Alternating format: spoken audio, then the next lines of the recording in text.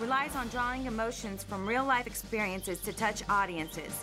There's one experience in particular as a teenager in Chicago that became a huge source for her comedy. Let's see how Olivia overcame family tragedy and created a passion for performing for our troops in a segment we like to call For the Boys. That's for you. You know that. I was born in Chicago, Illinois, South Side. It was simple because it, everybody was more of a family type situation. But all the neighbors, uh, you, you, go to the store, you do something wrong, the neighbors are telling on you. You know, so it was kind of like a village raising the, the, the, kids. But it was easier for us because, uh, you know, so my father was a police officer in our neighborhood, so we got a lot more respect. But bottom line is, kids are gonna do what they're gonna do. They're gonna go to gangs. I'll tell you what, in Chicago, we had tough gangs, the Cobra Stones, the Rangers. Houston, where I live, they pick a side of town. That's the name of the game. East side, west side, even the homeless ones outside. Uh, it, it was just unsaid, but you did what they said. It was easier to do what they said than to find out what's coming. If you you could be outside, I mean anywhere, and you know, like I said, when you, your dad's a cop in the neighborhood, he, he could pop up at any time. And if, if he doesn't see you, one of his boys are gonna see you. So it was just easier to, to stay in line. But I mean, we had curfews and all that, and, and we we respected them. Yeah, that was a day when you couldn't dial 911. They just, and then if you call the police, who's coming? your dad's friends.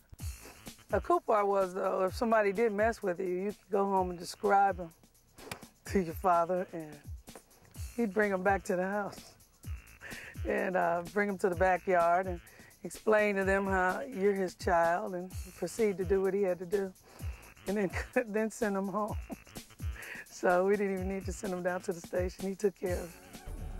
My dad arrested two guys. It was like malicious mischief or whatever. They were out after my dad. And this particular night, uh, weekend, my aunt and uncle had come down from St. Louis. Uh, they brought their two kids with them. Uh, they were out late, you know, with, with my dad. Um, and they came in probably like two, three in the morning, something like that. And um, my cousin was in the back in the room with us, and he was crying. He was about 15 months old, and my aunt came and took him to the room with her. They were in my parents' room. My parents gave them their room. My parents were sleeping on the sofa. They let the, the bed out on the sofa. Um, next thing, I, I, it's like four in the morning. I hear all this screaming. Uh, you know, oh my God, you know, what is this? You know, what's going on? I run into the kitchen and we had this big mirror in the uh, living room. And, and I looked at it, it was just completely orange. And uh, those were the flames coming from a uh, Molotov cocktail that had been thrown through my parents' bedroom uh, window. And uh, apparently, when the bottle of Coke uh, filled with gas came through, the gas spilled on my uncle. And I remember standing in the kitchen, I was about 13 maybe. My uncle ran by me um, and he was, he was in flames. Uh, his clothes were on fire. And he still, he ran into our bathroom and uh, I stood there for a minute, frozen for a minute, and uh, I walked in and looked in the bathroom, and he actually had a bucket. As, as, as, badly as he was burned, he actually had a bucket trying to fill it up with water, like he was gonna go put this fire out. And I saw him, he, he filled it up and, I, and, he turned the water off and he turned and then he just kind of fell to the floor and, and, and the bucket just fell uh, on the um, floor next to him. And to, to looking at it, it's just like even the, the skin, everything was just coming, just like it was coming off. He died three days later, you know, and left behind a seven-year-old son and a 15-month-old son. And you see, I mean, you, can't ever get that that image uh, out of your head. I've learned one thing about life being so short. I've learned to love myself, and that's what y'all need to learn. The same thing.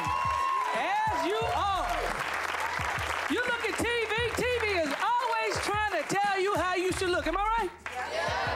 Slim Fast commercial. I don't feel nothing.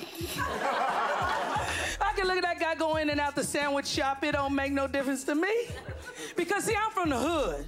You lost 80 pounds in six weeks. You's a crackhead. But you know those those stories, those those kind of things are the things that I draw on. And you may think it's weird when I go on stage. Now you kind of get in a little psyche to try to get ready, because coming to me is not the word you're saying, it's the emotion you put behind the word you're saying. Sometimes that emotion is what other people need to feel. Wow.